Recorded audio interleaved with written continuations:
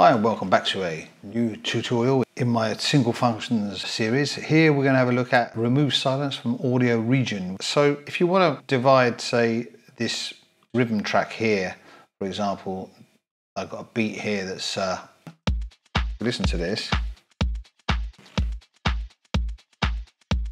So say you want to divide this by removing silences, you can then adjust this to the way you want it to be so the higher you bring up the threshold or the lower, it will change the length. So you will then be able to divide it the way you want it to, to, to sound. So if you want to cut out a bit of those hi-hats, you can then just bring down the threshold in volume so then it will catch the parts that you want to catch. So then all I've got to do is go OK, then that will divide that.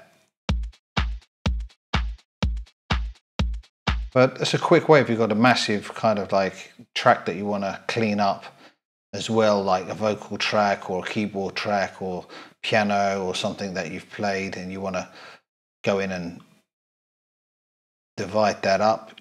You can go here and then just adjust it the way you want to with the uh, the threshold. If you use the maximum time to accept a silence, that, that will add to it as well. So depending on the time of it, it will add a division. So that's another way of editing, but I use mainly the threshold here. It's easier to adjust. So then you just go click OK. And you can see it's got rid of all the uh, blank spaces. I use that a lot, uh, especially vocals. That will get rid of all the, the noise between your vocal takes so you can get rid of the breath between the vocals if you want to. That's a practical feature. I hope that was useful for you. If it was, like, subscribe, and I will be back soon. Ciao.